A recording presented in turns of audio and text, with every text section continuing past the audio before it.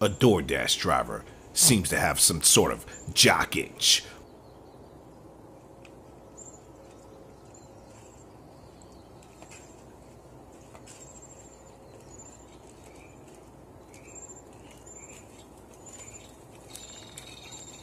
Hi.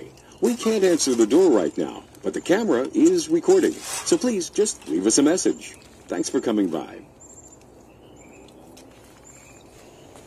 You never know what some of these people are doing with your food.